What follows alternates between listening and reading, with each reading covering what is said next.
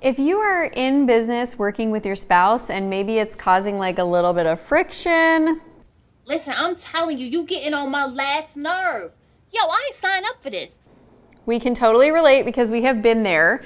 Uh, when we first started working together, I was kind of chaotic and uh, I would kind of like come home in a whirlwind and need all of these things right this minute.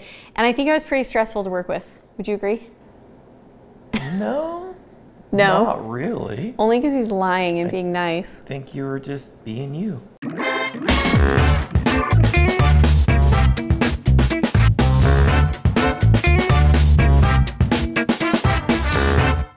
I'm Amy Walker, small business strategist.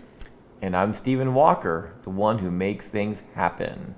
That is very true. So we have been running our company together for how many years? Eight?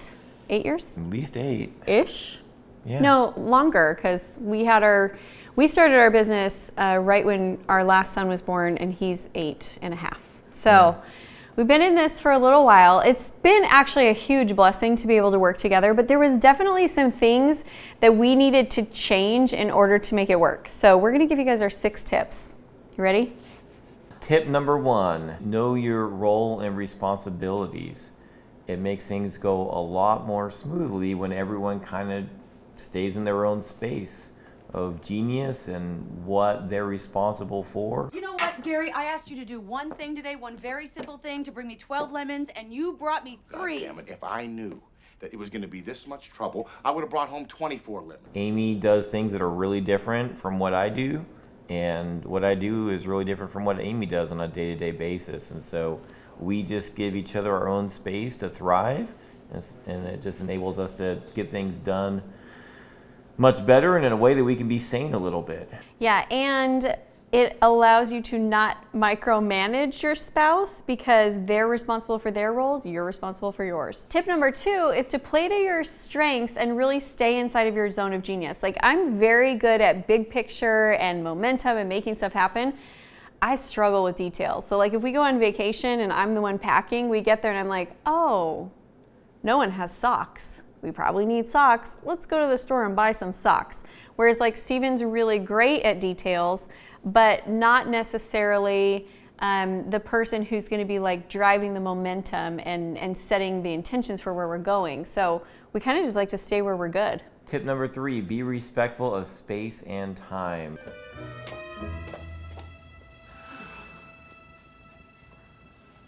Leave me alone. I'm not very good at this one.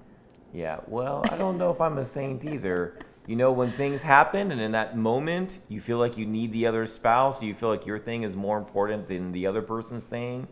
And maybe that's just life in general, but that definitely translates into business as well, mm-hmm. especially on a day to day basis. And so if I know that Amy, for example, is in the middle of working with a client on a pre scheduled call, and maybe I feel like I need her in that moment, but the reality is, if that's the case, and I just say, you know what?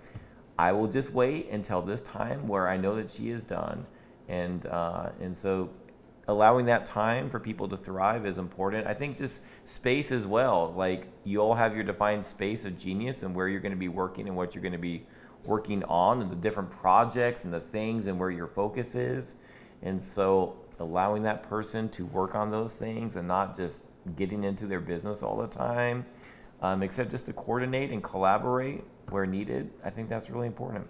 Yeah, a lot of times we'll go through our day and we touch base in the beginning of the day, we touch base in the end of the day, and then throughout the day, we're each working independently and able to manage and control our own schedule.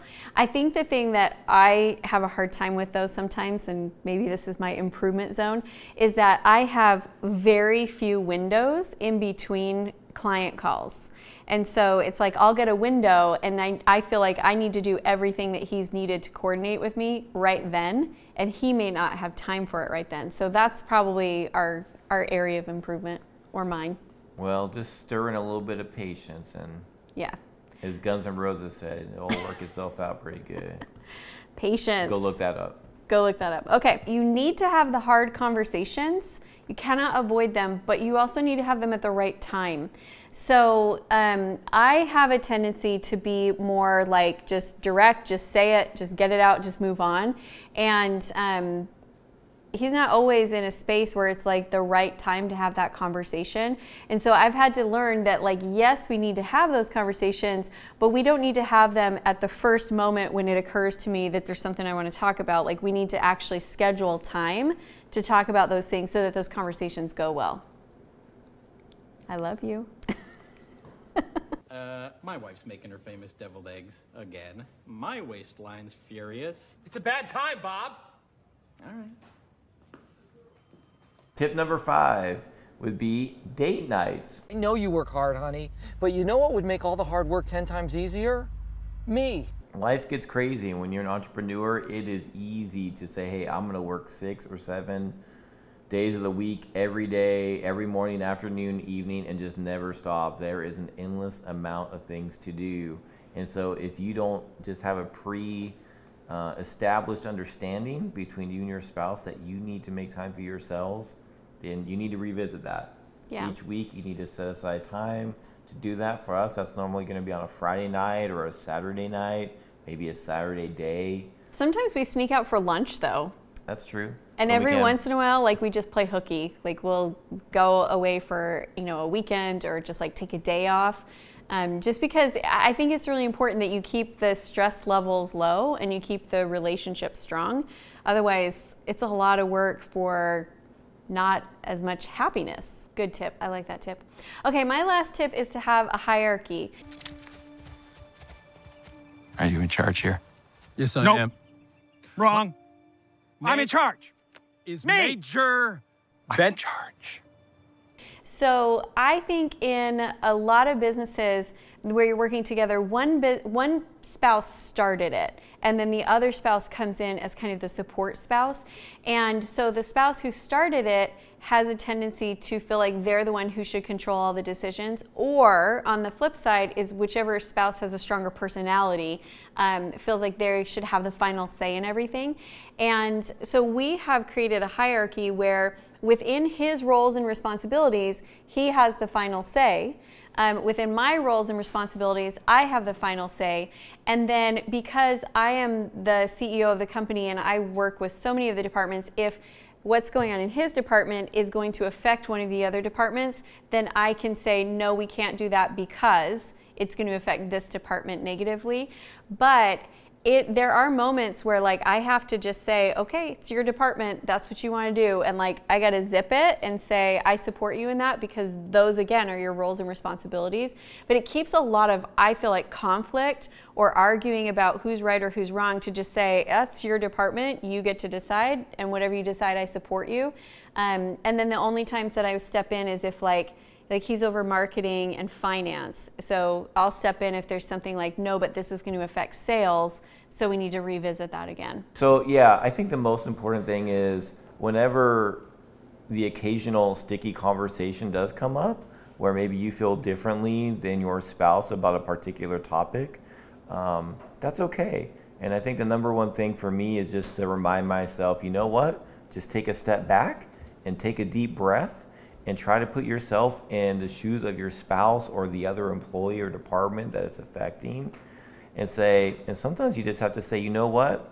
This decision is going to kind of stink for me slightly, but most often you can find the good overall for the company.